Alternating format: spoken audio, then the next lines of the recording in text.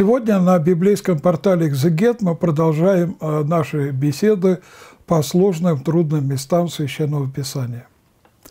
Сегодня мы рассмотрим такой вопрос. Можно ли праздновать день рождения?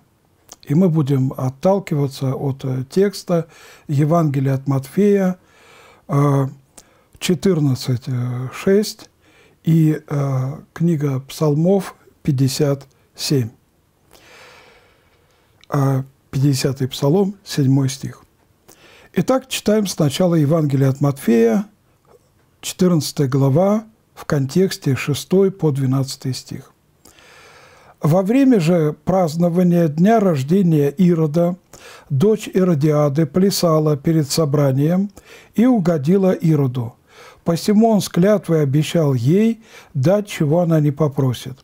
Она же по наущению матери своей сказала, «Дай мне здесь на блюде голову Иоанна Крестителя».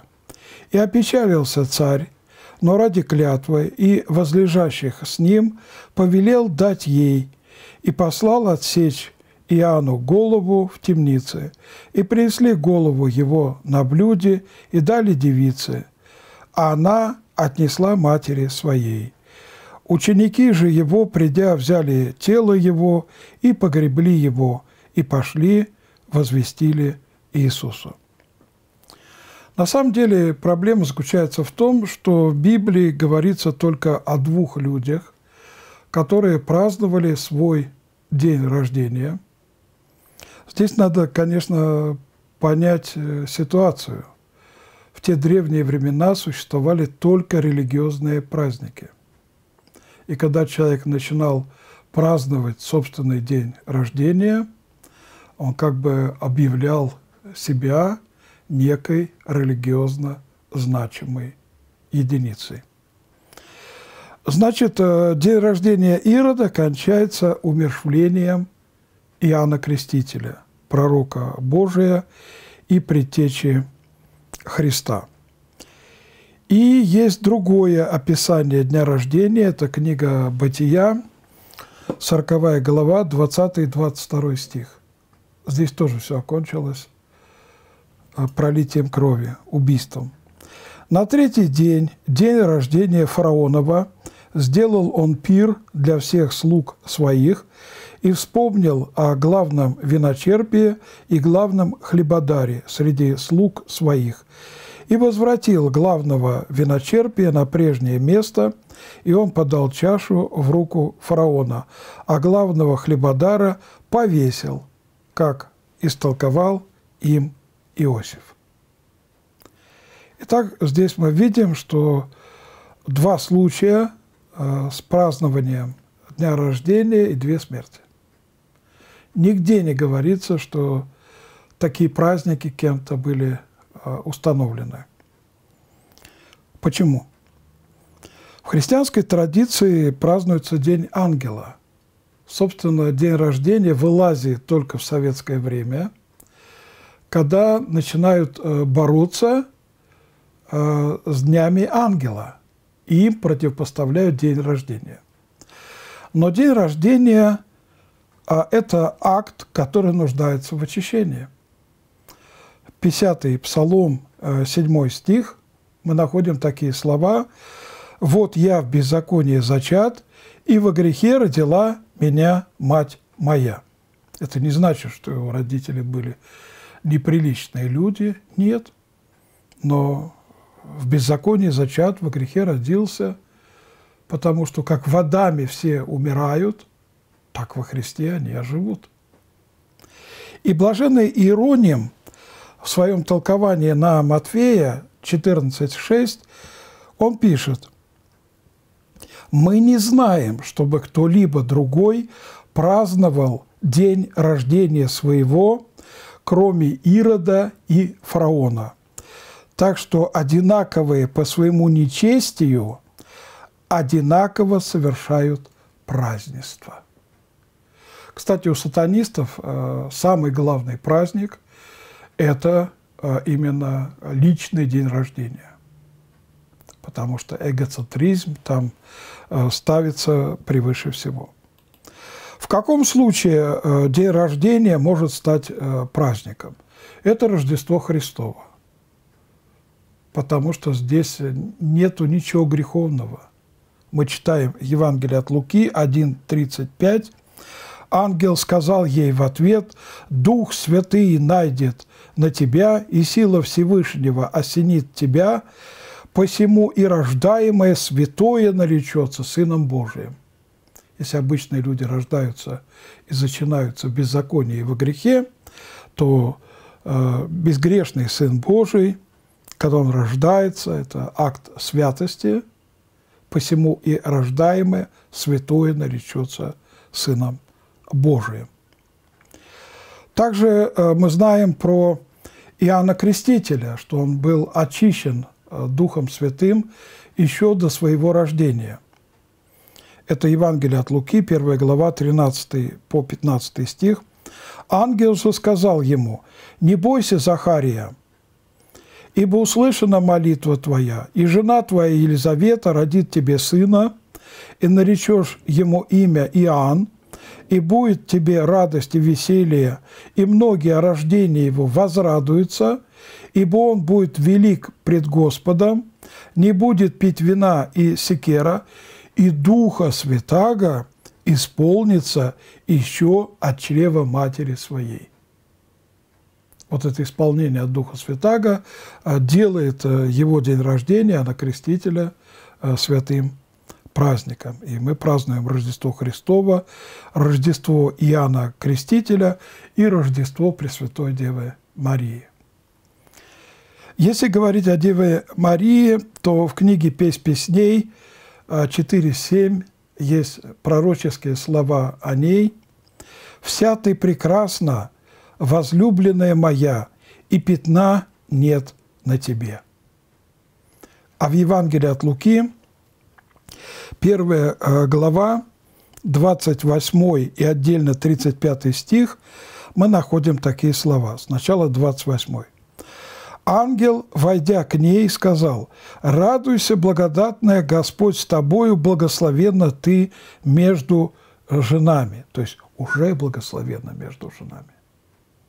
И только ниже, 35 стих, ангел сказал ей в ответ, «Дух Святый найдет на тебя, и сила Всевышнего осенит тебя, посему и рождаемый святой наречется Сыном Божиим». То есть, когда ее архангел приветствует, она уже благодатная, так как она выше всех людей, и после Святой Троицы, первое наше упование, а, то вот таким чудесным совершенно а, образом она была предочищена. Иначе мы не праздновали бы ее а, Рождество.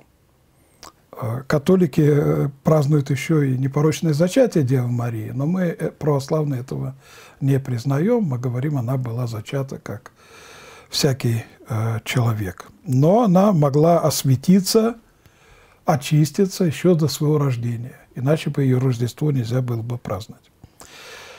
Кстати, о пророке Иеремии известно, что он тоже был предочищен благодатью до рождения – мы читаем книгу пророка Иеремия, 1 глава, 5 стих. «Прежде, нежели я образовал тебя в чреве, я познал тебя. И прежде, нежели ты вышел из утробы, я осветил тебя. Пророком для народов поставил тебя». И мы знаем, как Иов многострадальный оплакивал и даже проклинал день своего рождения. Давайте посмотрим. И начал Иов и сказал, «Погибнет день, в который я родился, и ночь, в которую сказано зачался человек». То есть он проклинает этот день своего рождения, день зачатия. «День тот да будет тьмою, да не взыщет его Бог свыше, и да не воссияет над ним свет, да омрачит его тьма и тень смертная, да обложит его туча, да страшатся его, как палящего зноя. Ночь та, да обладает ею мрак, да не сочтется она в днях года, да не войдет в число месяцев. О ночь та, да будет она безлюдна, да не войдет в нее веселье, да проклянут ее проклинающий день, способный разбудить Левиафана. Да померкнут звезды рассвета ее, пусть ждет она света, и он не приходит, и да не увидит она ресниц Деницы за то, что не затворила дверей чрева матери моей и не сокрыла горести от очей моих. Для чего не умер я, выходя из утробы, и не скончался, когда вышел из чрева? Зачем приняли меня колени? Зачем было мне сосать сосцы? Теперь бы лежал я и почевал, спал бы, и мне было бы покойно. Это книга Иова, Иова, 3 глава, с 2 по 13 стих. И все же, можно праздновать день рождения или нет. Давайте вспомним, что когда ангелы Божии э, явились э, к Аврааму, он принял их э, в свой шатер, и под дубом маврийским он сделал трапезу и угощал их. И ангелы ели. О чем это? То, что ангелы ели, а ангелы не питаются земной пищей. Господь научает нас в той местности, где ты живешь, поступай по правилам этой местности. Ну, например, э, если, например, ваш ребенок учится в школе, и все знают день его рождения, если в этот день он не принесет конфеты, не поделится с другими детьми, э, к нему плохо отнесутся. Поэтому здесь э, логично будет какое-то угощение приготовить, чтобы он поделился э, им со своими друзьями или даже пригласил кого-то домой и сделать такую э, праздничную трапезу. Ничего страшного в этом э, не будет. Или ваши родственники привыкли к тому, что вы праздновали день рождения все время. Но потом вы как бы разобрались э, с библейской, святотеческой точки зрения, что это такая савдеповская как бы практика отмечать день рождения. И в то же время вы понимаете, что нельзя обидеть этих людей. И вы для них делаете стол, угощаете их, принимаете, как обычно, принимаете от них поздравления и подарки, вы поступаете в той местности, где вы живете, по обычаям этой местности, как и ангелы Божии, придя к Аврааму, хотя они бесплодные существа, они вкушали пищу, которую он им предлагал.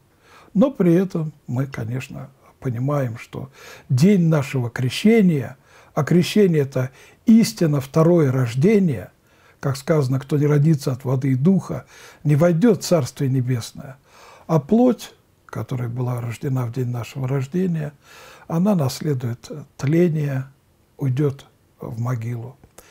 И если только спасенная душа наша, когда она вернется в наше тело, когда тело воскреснет, вот тогда будет полнота человеческого бытия, гармоническое сосуществование духа, души и тела в беспорочном состоянии. А так мы все знаем, что на сороковой день после рождения ребенка надо идти в храм, чтобы священник прочитал молитву от э, осквернения. Причем раньше, э, если рождался мальчик, на сороковой день читали такую молитву, если девочка на 60-й день. Это по закону э, Моисееву. Никто этих молитв не отменял. Эти правила в той или иной степени они продолжают действовать. Но превыше всего любовь. Об этом тоже будем помнить. Итак, друзья, подписывайтесь на библейский портал «Экзегет», чтобы вовремя получать информацию о наших новых беседах. И берегите себя и ваших домашних.